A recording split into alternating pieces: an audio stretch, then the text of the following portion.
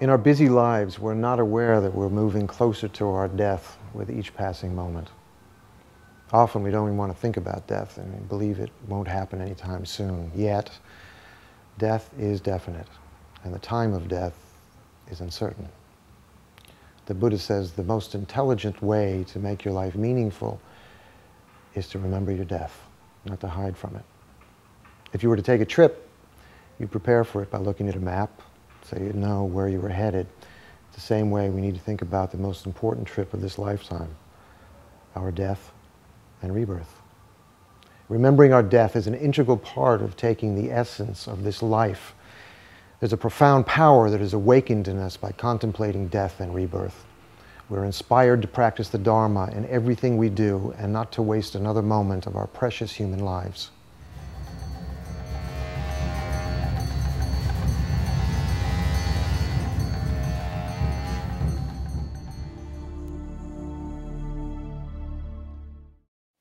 Each of us is going to die, from the smallest to the largest animal, from the poorest to the richest human being.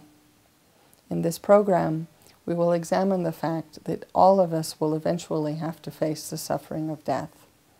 In this, we are all alike. And the truth is, we don't know when our death will occur. With this perspective, not knowing which of our actions will be the very last in this lifetime, the practice of motivation becomes especially important. Therefore, before you listen to the teachings on death and rebirth, generate in your mind an especially strong thought, a strong motivation, wishing to be able to use every moment of this life in order to make it purposeful and meaningful, in order to eventually be able to liberate all living beings from their suffering and bring them to the happiness of enlightenment.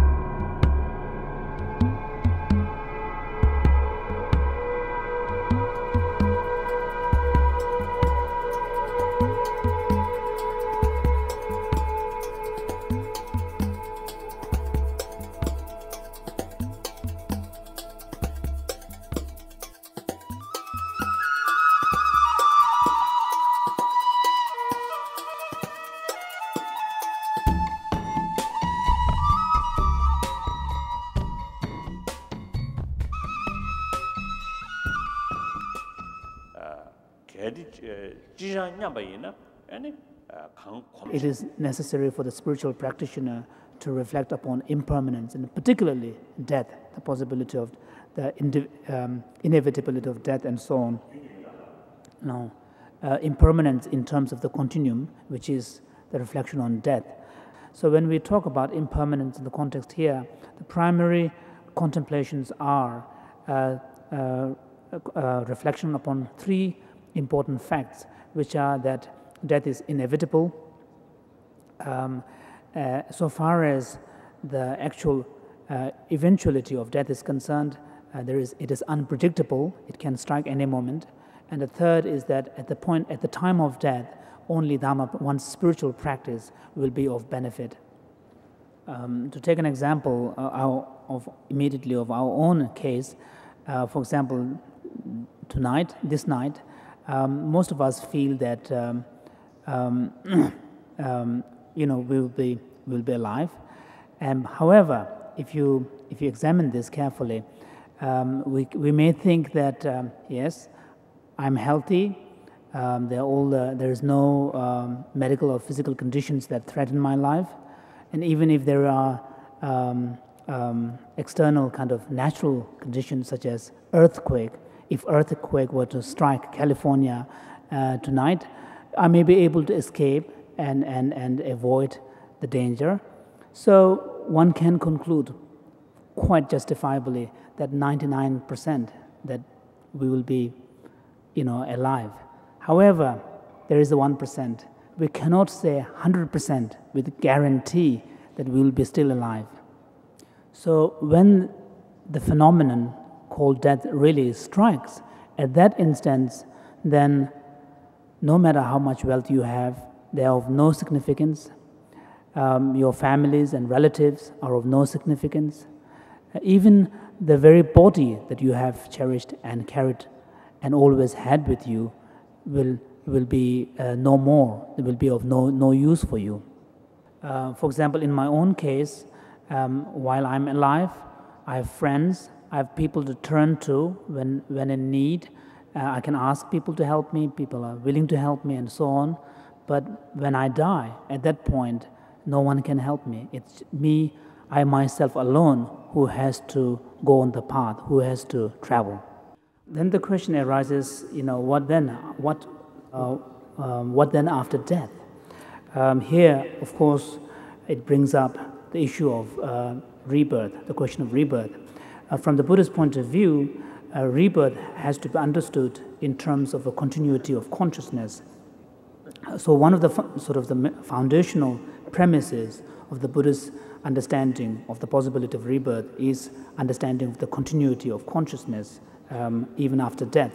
Buddhists um, do not accept, do not posit beginning to the continuum of consciousness, and Buddhist explains the nature and existence of consciousness purely in terms of uh, causes and conditions, the principle of causes and conditions. So, um, as the text points out, um, um, the question of where, where you will depart after the death is uh, influenced and determined by uh, your own karmic uh, collections, uh, not only uh, of this life but also your past karmic actions. And, um, and, and on this point, um, um, as Vasubandhu has written that um, because all of us will have uh, enormous uh, uh, collections of karma accumulated over many past lives. So all of us will have karmic uh, potentials to take rebirth both in the um, lower realms of existence and more fortunate realms of existence.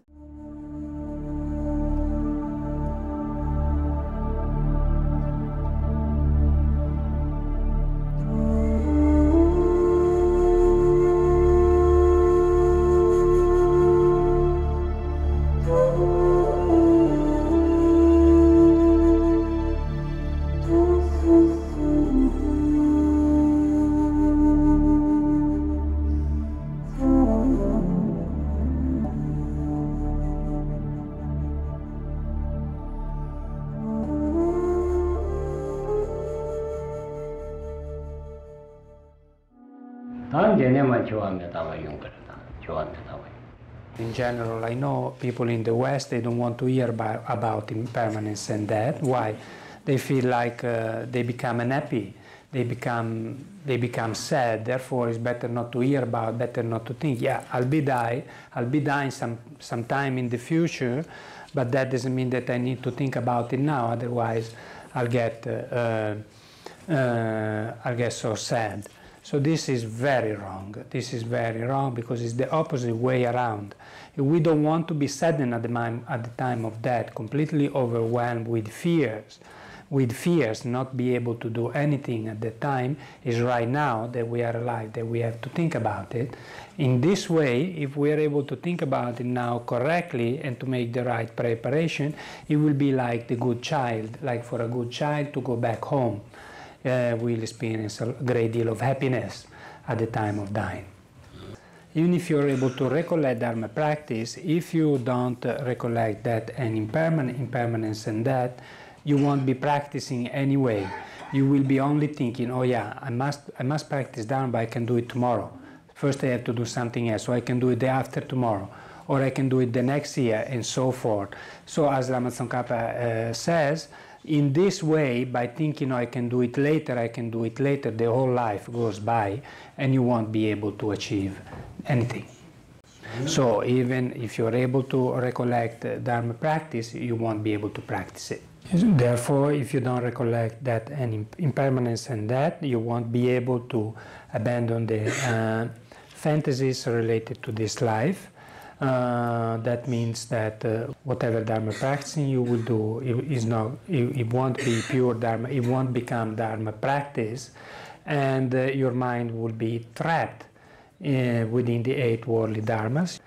In brief, no matter what kind of external or internal methods or wherever I go, whatever I do, that won't prevent me from dying. Therefore, definitely I'm going to die. That is certain. I'm not going to last in this place. So think about the causes. Think about the causes that bring one of the uncommon spatial causes uh, that result in a precious human rebirth is the perfect practice of morality. So now, check in your mental continuum. As the Kadampa Lama says, uh, if you want to know who you were before, look at the condition of your life now. If you want to know where you're going to be or what you're going to be in the future, look at the condition of your mind now. So this is very true. The uncommon condition of uh, achieving a precious human rebirth is the practice of morality.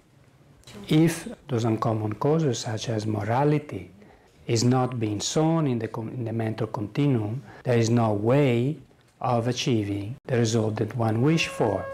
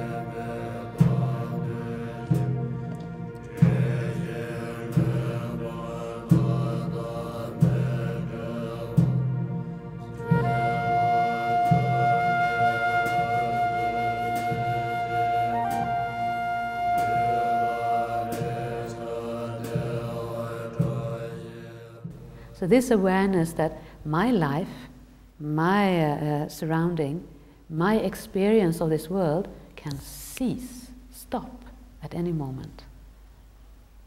And I have to go alone, leave all this behind at any moment. That daily awareness, you know, gives a certain sense of space. It doesn't, things don't feel so real, so permanent, so fixed, you know, so. Uh, dependable anymore. You know, the only thing we take with us is our mind. Yeah? And so, uh, uh, do we want, you know, do we want to uh, keep our mind uh, uh, deluded, attached, fearful, and is that what we want to take with us? You know, we have to question ourselves. do I want to take with me anger, jealousy, you know, uh, resentment, pride, and attachment? The attachment that gives so much rise to fear and worry. And that's not the things we want to take with us at a time of death. You know, we want to take with us at a time of death, we all want to have a happy death, isn't it? We want to have a peaceful, happy death. So, what state of mind is that?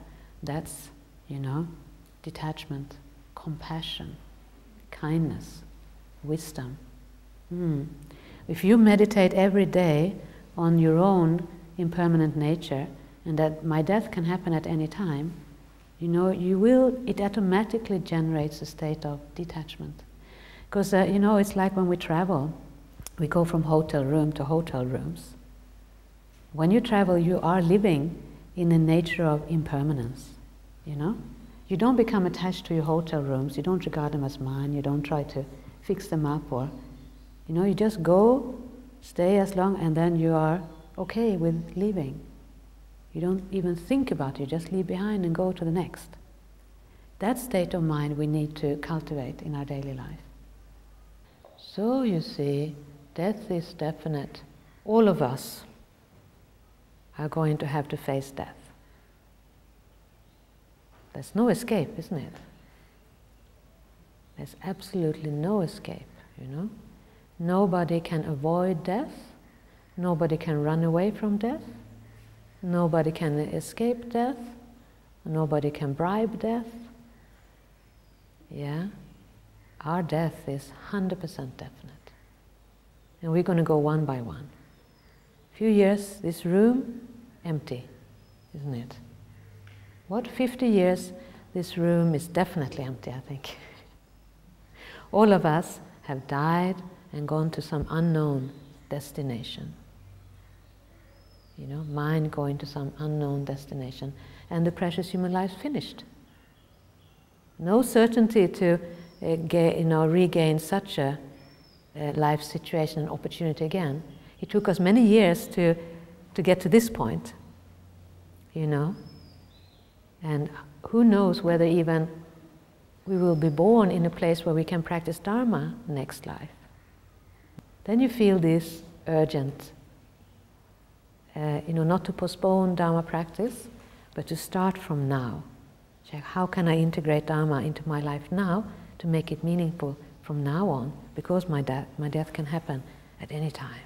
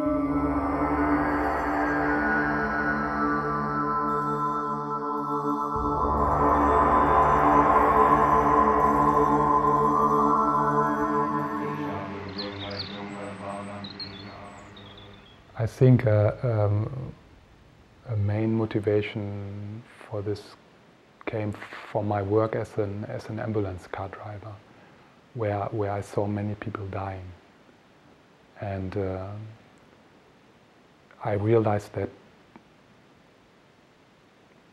uh, people can't die. I mean, they, they are just. I saw immense suffering and immense uh, they, I, I didn't see any peaceful death. I, I read about peaceful death in books, but this is not how people actually die. They, they die screaming and full of fears, and it's just horrible, and it's nightmares. And so I remember especially, uh, I, I, I, went once to a case where a young guy was the same age as me was stepped down with a knife. And so he was lying there in his blood and screaming and, and, and he was dying. And, and before I was, uh, I was working uh, on a farm, so I thought, uh, I, I went to the slaughterhouse and I saw pigs dying. And I thought, he's dying like these pigs, there's no difference. And, and, but something in me knew it's not necessary to die like this. No, it's, it's just not necessary. It's a mistake. And uh, yeah, and so my practices and my life as a monk is a preparation for my death. Not only for me to have a good death, but also to reach a level of practice where I can help other people to die.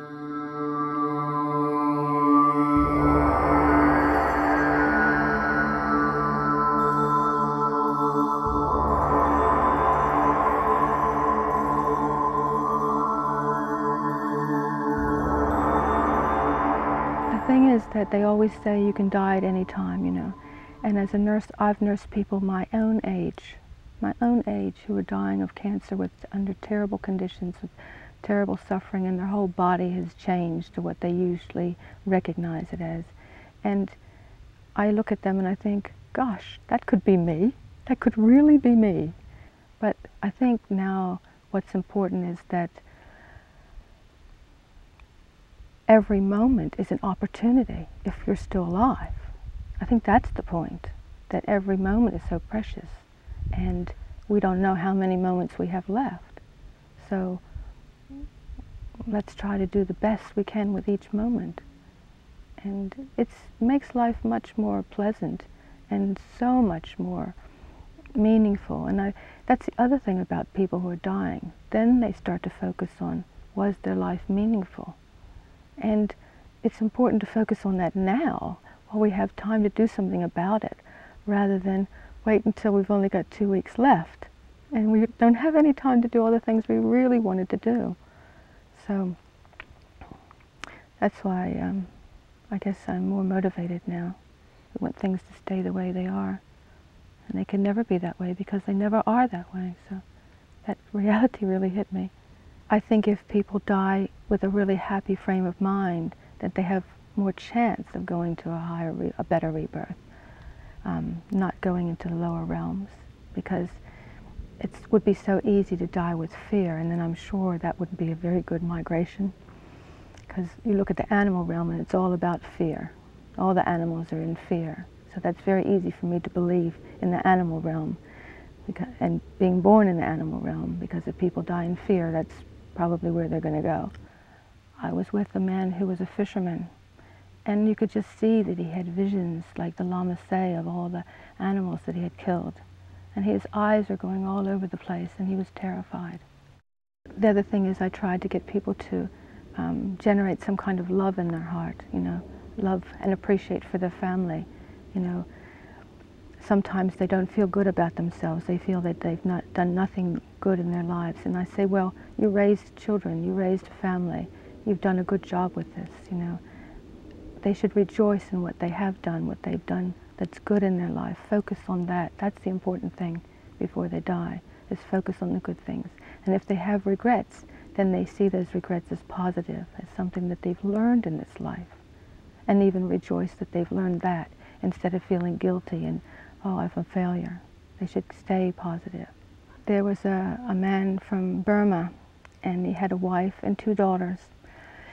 And he was looked after by a hospice service in the city, and Amitabha was called in because we're the only service that's Buddhist. So he took his bed, a mattress, and put it in his shrine room in the house. And he put his head towards his shrine, and he told his wife, um, I don't want much fuss over me. Leave me alone. I've got to concentrate now because I'm going to die. And all the public services in, who were looking after him never had seen this before because usually people are so scared and they need so many drugs, especially mental drugs, to calm people down because they're terrified. But he didn't need anything. And all the other workers were so surprised. He doesn't need any drugs. He's so calm. And everybody who came into the house felt so peaceful, so unique, so unbelievable. And um, his wife and his daughters looked after him, and it was like he was in his last retreat before he died, and he was just a model for everyone who, who came into the house. Everyone spoke so highly of him and had never seen anything so peaceful before.